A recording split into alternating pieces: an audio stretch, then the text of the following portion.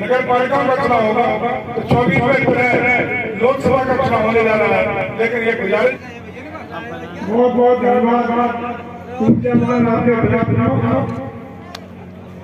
और बहुत ही ओजस्वी कार्यकर्ता के रूप में जिन्होंने अपना जीवन आपको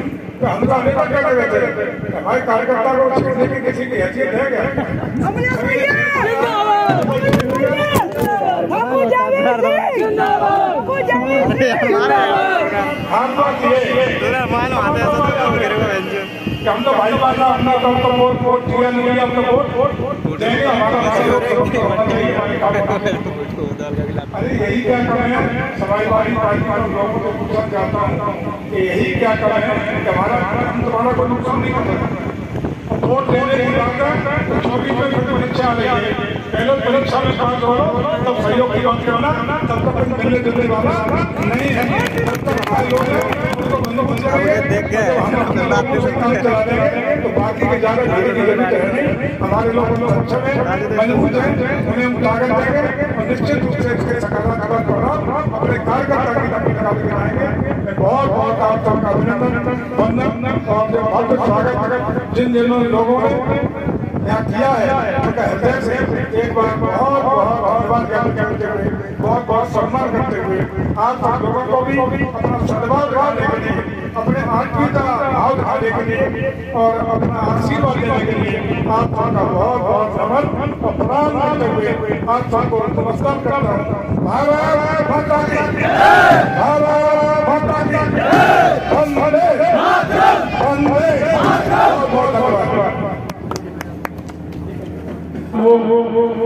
राष्ट्रपति जी का प्रदेश में आगमन हो अगर किन्हीं कारणों से आदरणीय योगी जी वहाँ नहीं पहुँच पाते हैं।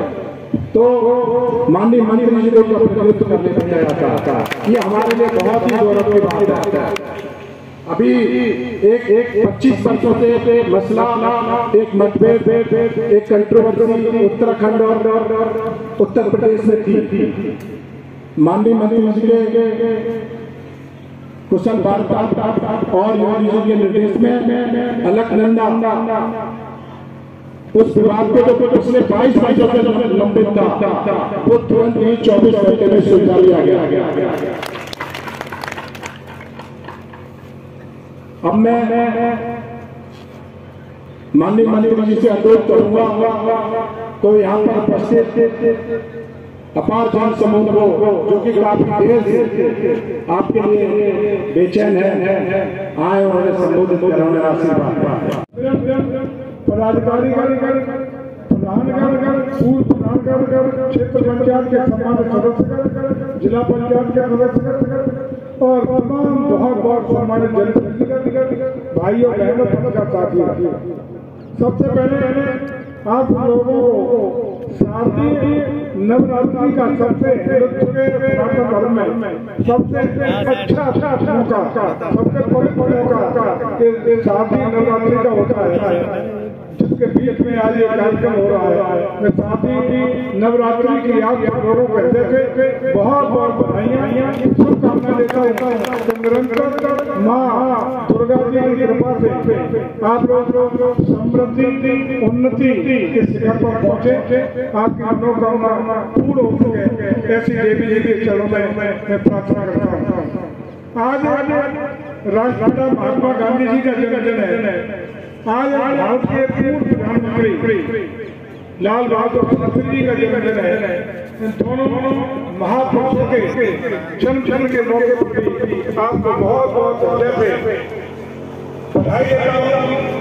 बहुत बहुत शुभकामनाएँ देता हूँ। आज जिस तरीके से हमारे पंडित लाल जी को समर्पित भाषा में बॉम्बे जी बोलते हैं के द्वारा जो आज कार्यक्रम आयोजित किया गया वो कार्यक्रम का अपना दिल बिल्कुल रहा कि जहाँ स्वागत करने वालों का साथ घंटे हो होते अब हम कहाँ रोके कैसे रोकेंगे मुझे लगता है, इतना आधे घंटे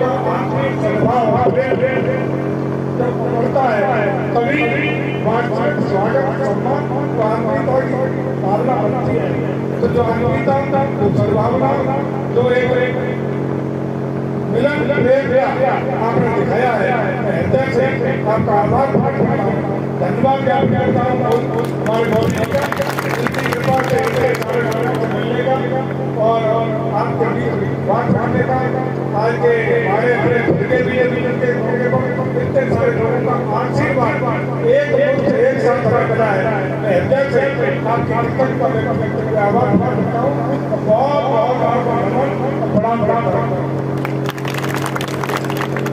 भाषण होगा तो लंबी थोड़ा समय में समझा जाएगा केवल दो बातें हैं हृदय से भाषण बाहर करिए अपने अच्छे के लिए अपने भाव के हैं आपके परिवार का आपके घर के और उसी भावना से आपके बीच में आज खड़े हैं वैसे तो ये सही है कि आपने लगातार उन्नीस सौ तिरानवे में जो विधानसभा का पहला चुनाव लड़ा था सबसे लेकर लगातार जो आरोपी था अपना अपना राष्ट्रपति किया उसके लिए हृदय से हम प्रकट करते हैं कृतज्ञता व्यक्त करते हैं लेकिन सही बात यह है कि पता नहीं क्यों मुजफ्फरपुर को शिक्षा के लिए शिक्षा के लिए अब तो निकल गया तीनों प्रमाणों में बिल्कुल ही मंडी से निकल। गया कहीं ना कहीं कहीं गड़बड़ हुआ हुआ अलग प्रयास में कभी नहीं गई।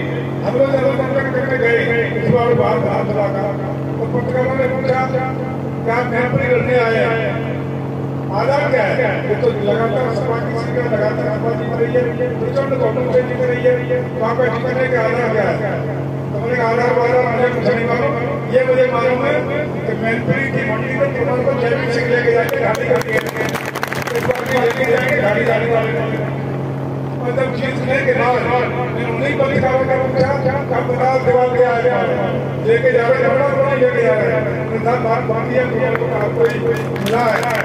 बधाई इसलिए लेकिन एमपी ने आशीर्वाद दिया जिताया लेकिन आप लोगों ने कोई कोई कसर नहीं छोड़ी चाहे विधायक के खिलाफ आपने पूरी ताकत से जिताने का हमने काम किया और उन्नीस सौ सत्रह में भी, वो दो हज़ार पंद्रह में भी जब विधानसभा का चुनाव हो रहा था, तब भी कैसे वोट हुए थे गरीब परिस्थितियों को कैसे जो हमारे वाला बेटा था, ऐसे ऐसे वोट आपने देने का काम किया था। लेकिन बीएमसी नहीं मिली कोई तो अलग अलग था। लेकिन आज जो ताकत मिली तो आपने जिला ब्लॉक से लेके, जिला पंचायत से लेके, जिला मोदी जी को लेकर, सारे चुनाव, आपकी पार्टी के बाद से आपने बताने का काम किया है।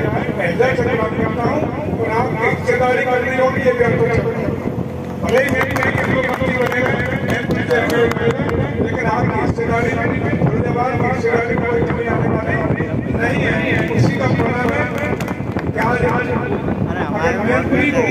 करीब पंद्रह बीस हमने विकास कर लिया में नहीं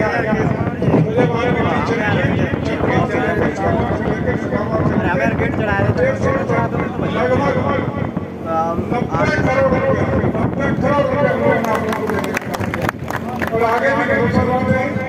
कि आपकी उन्नति के लिए आपके विकास के लिए, आपकी भलाई के लिए हम लोग काम करते रहेंगे और दूसरा विषय, आता के जब दस्तानी के बाद देख लेने की बात करते थे चुनाव के परिणाम के बाद देख लेकर अखिलेश यादव जी मुख्यमंत्री बन गए।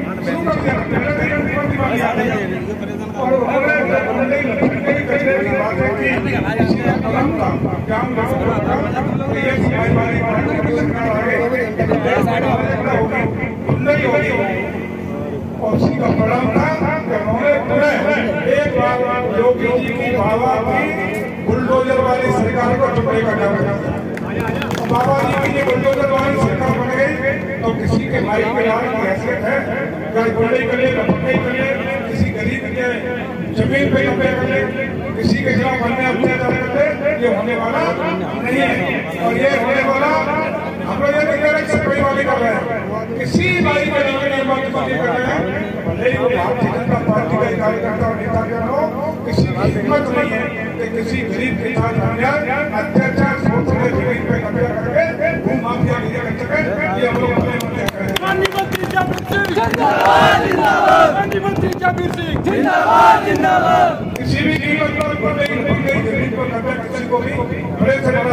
कोई करने की इजाज़त है और ये सरकार बाबा जी की सरकार है यहाँ सभी लोगों को गरीब से गरीब समाज के छोर के बिना किसी जाति बिना किसी धार्मिक चलिए चालू करो जनरेटर बिना किसी धार्मिक, बिना किसी जाति, बिना किसी अन्य भेदभाव के सब लोगों को सौ प्रतिशत ईमानदारी से न्याय देने का काम ये सरकार कर रही है तो आगे भी करती विश्वास के साथ हमारा आपका रिश्ता एक परिवार की तरह जिस तरीके से अभी तक चला है, वही आगे भी चलता रहेगा। हम आपके हैं, आपके घर के हैं, आपके परिवार के हैं और निश्चित रूप से ये भरोसा दिला के जा रहे हैं कि आने वाले वक्त में हम इकट्ठे राजनीतिक रूप से और सामाजिक रूप से एक दूसरे को मज़बूत करने का काम करेंगे। अभी फिर आपने अपना रोज हमारे रोज तक है। देश में उत्साह करके ये आपको पूर्ण है तो हम तो हमेशा क्या कर रहे थे हमारे कार्यकर्ता की किसी की हैसियत है क्या बाबू जावेद सिंह बाबू जावेद सिंह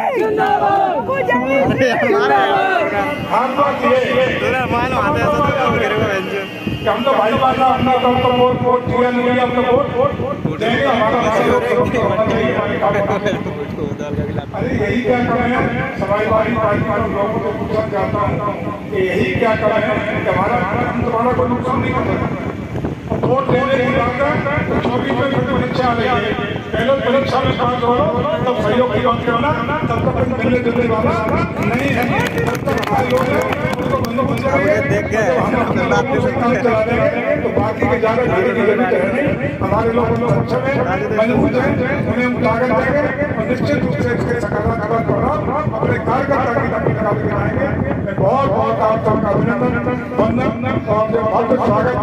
जिन जिन लोगों ने यहाँ किया है उनका हृदय से एक बार बहुत बहुत धन्यवाद ज्ञापन करते हुए बहुत बहुत सम्मान करते हुए आप सब लोगों को भी अपना सद्भाव दिखाने के लिए अपने आत्मीयता भाव दिखाने के लिए और अपना आशीर्वाद देने के लिए आप सबका बहुत बहुत नमन और प्रणाम करते हुए आप सबको नमस्कार करता हूँ भारत माता की भारत माता की वंदे वंदे बहुत बहुत धन्यवाद अभी अभी आप लोग रुके रहिए। आप सबसे भोजन की व्यवस्था है और मंदिर के लिए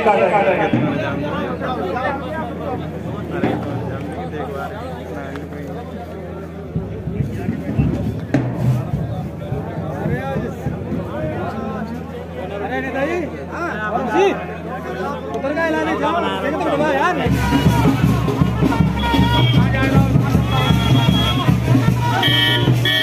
अब गाड़ी तो बनाए